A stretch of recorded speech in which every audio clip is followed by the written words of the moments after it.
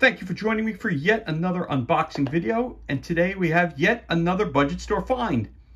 This time it's the card game Boss Monster, the dungeon building card game. Card game for two to four players. A retro-inspired tabletop game designed by Brotherwise Games. Released in 2015. Boss Monster of course, I picked this up for $3.99 at the local budget store. So let's flip it over and see what this is all about. Boss Monster, inspired by classic video games. Boss Monster challenges you to become a villain, build a dungeon, lure in adventures, and destroy them. Boss Monster is a standalone card game that challenges two to four players to become video game style villains and build deadly side-scrolling dungeons. But beware, you must make your dungeon as deadly as it is attractive where the puny heroes might kill you first. Are you a bad enough dude to become the ultimate boss monster?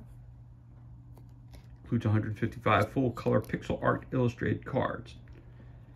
Uh, it was released in 2015. Again, it's for two to four players, ages 13 plus, and takes about 30 minutes to play. So, again, let's crack this bad boy open and see what kind of goodness we have on the inside. Of course, right off the bat, we have our instruction books quick start guide as well. So let's take a look at those first. And then we've got our decks of cards. So Boss Monster instruction booklet. Ooh, gotta love that. It's got that Nintendo feel to it. Very cool. Contents, welcome to the dungeon, how to play, gameplay at a glance, card type setup, game setup example, sequence of play, and the glossary. And welcome to the dungeon. Boss Monster is a fast-paced card game of strategic dungeon building. As a boss monster, your goal is to lure hapless adventurers into your dungeon and consume their souls. But beware, your dungeon must be as deadly as it is enticing, or the puny heroes can actually survive long enough to wound you. More importantly, you have competition. Adventurers are a hot commodity, and other boss monsters are trying to outdo you with more precious treasures and more nefarious traps. Are you a bad enough dude to become the ultimate boss monster? Object of the game. The goal of boss monsters to lure heroes into your dungeon and kill them. Heroes who die in your dungeon are turned face down and count as souls. Heroes who survive give you wounds. Player wins if she ends a turn with 10 souls. Player loses if he ends a turn with 5 wounds. The turn is not complete until all players have had a chance to act. In the case of a tie, refer to the tiebreaker rules on page 16. Getting ready, box contents, game page, play at a glance, card types, bosses. You got boss icon, so you look at the letters and they match up exactly where they're boss icon. The abilities, experience points, and treasure. Card types and rooms, room icon, ability, damage, and treasure. Card types heroes, you got treasure icon, health, wound, player icon, and the soul. Card type cells, spells, I should say. Setup, prepare the hero decks. Initial setup, starting hand, build your first room. Game setup example. Sequence play, beginning the turn, build phase, bait phase, adventure phase, then end of turn. Experience value and active players. Sequence play continued, beginning of turn. Heroes appear in town, each player draws a card. Build phase, to the left of your leftmost card, on top of an existing room card. Build phase, pro tip building over keep an eye on your treasure types as you're building rooms because they will limit the advanced rooms you're allowed to play. Multi-treasure rooms with gold borders tend to be low damage, but they'll give your dungeon versatility. Also, keep in mind that ordinary rooms can always be built over any room regardless of treasure type. Sequence of play, debate phase, compare treasure values, lure, tie. Spell cards and room abilities cannot be used during a bait phase. Pro tip, bottleneck heroes. If no player has the highest treasure value for a given hero, either because all players have zero or all players are tied, that hero stays in town. On the next turn, new heroes arrive as normal. If a tie is not broken, heroes can really start to stack up in town. When the tie is broken, all relevant heroes go to the winning dungeon, which means the stakes just keep getting higher. Manipulating the bait phase to make sure heroes come your way is key to the success in Boss Monster. bait phase examples. Venture phase, heroes enter, rooms deal damage, spells and abilities, death, survival. Pro tip, tracking heroes. Sometimes hero sequence can be important. Heroes obey a first in, first out rule. To keep track of this, place each newly revealed hero to the side of the deck. The closest to the deck should always be the one that has been in play longest. Once that hero heads to a dungeon, slide the newer cards towards deck to take its place. Remember, new heroes continue to arrive in town at the beginning of each turn. End of turn phase, multiplayer games. In a game with more than two players, when one player loses, that player's cards are set aside and removed from the game. They do not go to the discard pile, and no effects can interact with those cards until the game concludes. The number of heroes entering town does not change, so the pressure is on. End the game If a player ends the turn with five or more wounds, that player loses the game. If a player ends the turn with 10 souls and fewer than five wounds, the player wins the game. If two players meet the victory or loss conditions above, subtract each player's wound total from his souls total. The player with the highest result wins. If the result above is a tie, the player with the lowest XP value wins. Now shuffle the decks, deal out some new boss cards, and play again. Classic hard, choose your own, machinations, and unlimited lives. Glossary keywords that are brought about. Credits to all the good people who brought you this game. And the credits.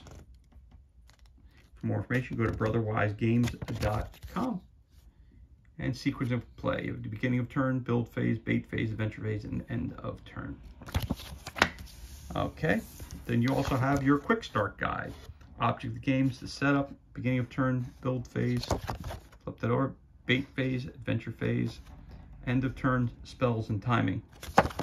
There's your quick start guide. So put this here, you got the quick start guide here, put those here, like so. And then you got your cards. You got your boss cards, you got your hero cards. I'm gonna put the boss to the side. We're gonna start with the hero cards. Got some gray cards. Your Epic Hero cards, which are your gold cards. Got your spell deck.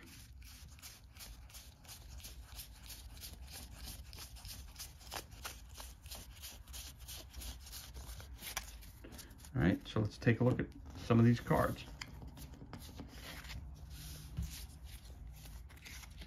So we've got our, whoop, almost dropped them. Sorry about that. Got our hero deck. Ordinary hero, you got a mage. Of course, the cool pictures here. Gandog the Golden. Hearts and lives. Okay. Lost in a dungeon after his master was slain, this adorable pup seeks revenge. He does his best to imitate the spells he's seen, but has no idea what, of what he's doing. A mage, you got a fighter. Got another mage. Another mage. Thief. Another thief, fighter cleric, the fool, fighter, the thief, mage, cleric, the cleric.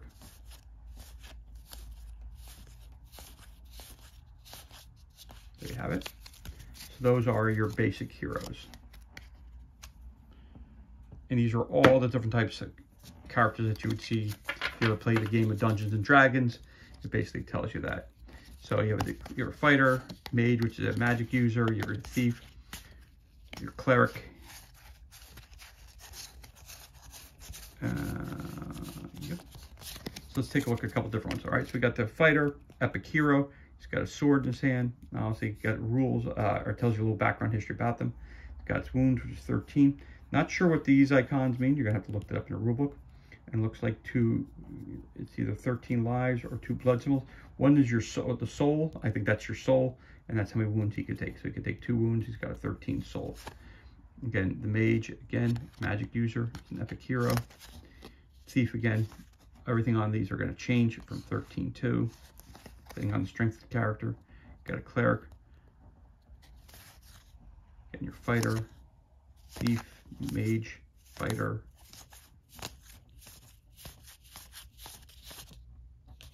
So let's take a look at this one. It's got an Ankh in the corner, got some wings there. Ospreyman, Angel of Earth. Not a true angel, Ospreyman is a druid who uses his mastery of shape-shifting magic to assume the form of a massive bird, take the skies, and defend nature from evil. There you go. Those are your Epic Heroes. That's another deck of cards there. Then, of course, we have our spell deck. Giant size. Give one monster room plus three until the end of the turn. And again, icon down there. Again, I'm not sure what these icons are used for. Cave in, counterspell, kobold strike, teleportation, giant size, motivation, fear. Choose a hero in any dungeon and send it back to town. Cave in, soul harvest, jeopardy. All players must discard their hands, then draw one spell card and two room cards. Teleportation, freeze, freeze, assassin, exhaustion, motivation, freeze, counterspell, assassin, freeze, princess in peril. Choose one hero in town, place it at the entrance to your dungeon. Zombie attack, princess in peril, assassin, jeopardy, fear, annihilator, trepidation, annihilator, and zombie attack. So that's another deck of cards there. That is your spell deck. Which is good that each deck has a different color to it. Always helpful. Then we have our bosses. There's some boss. Oh, wait uh, bosses are in green. We've got a room deck.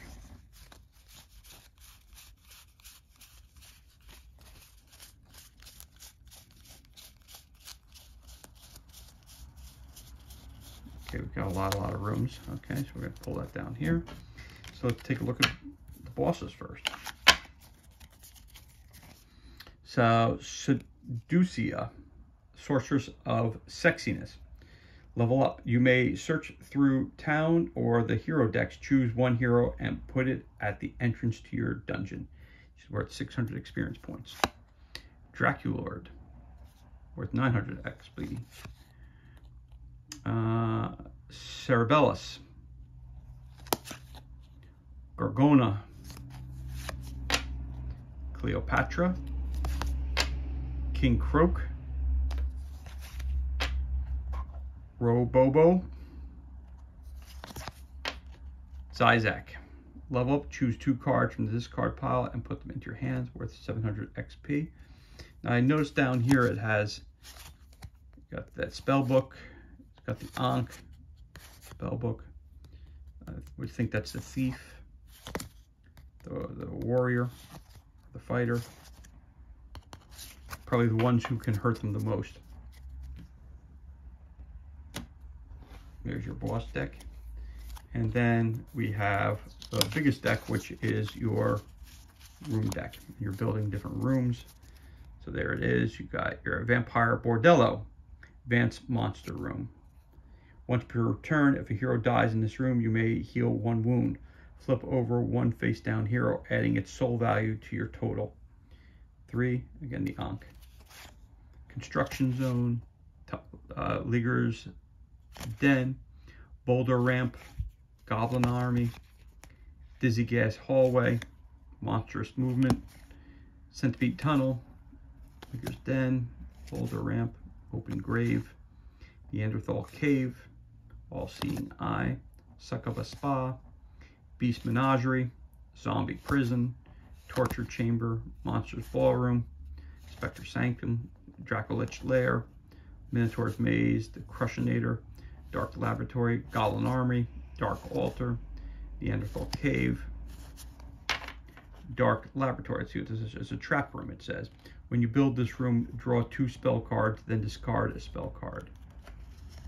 Okay the Witch's Kitchen, Brainsucker Hive, Monsters Ballroom, Dark Altar, Witch's Kitchen, Dragon Hatchery, Dark Laboratory, Mimic Vault, Haunted Library, Torture Chamber, Jackpot Stash, Zombie Prison, Open Grave, Brain Sucker Hive, Witch's Kitchen, Minotaur's Maze, Jackpot Stash, Dragon Hatchery, Dizzy Gas Hallway, Succubus Spa, Spectre Sanctum, Golem Factory, Brainsucker Hive, Mimic Vault, Dracolich Lair, Bottomless Pit, Vampire Bordello, Dragon Hatchery, Dark Altar, Recycling Center, Jackpot Stash, Bottomless Pit, Golem Factory, Centipede Tunnel, Monstrous Monument, Spectre Sanctum, Bottomless Pit, that one there.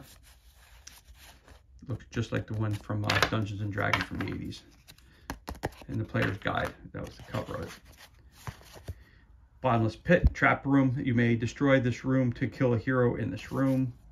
Crushinator, Succubus Spa, All Seeing Eye, Beast Menagerie, Construction Zone, Golem Factory, Goblin Armory, Recycling Center, and Dizzy Gas Hallway, the Trap Room. If the next room in your dungeon is a trap room, it has plus two. And there you have it. These are all your cards and everything that's included in this unboxing of Boss Monster, the dungeon building card game. Card game for two to four players. Again, a retro-inspired tabletop game designed by Brotherwise Games. For more information, go to brotherwisegames.com. And as always, thank you so much for joining me for this unboxing video, which truly appreciate it. If you enjoyed it, you could always give us a thumbs up, leave a comment below. You could also hit that subscribe button. This way you're kept up to date as to any time we release new content to the page. As always, thank you so much for joining us. Be safe, be well. Enjoy the rest of your day, and we'll catch you on the next unboxing video.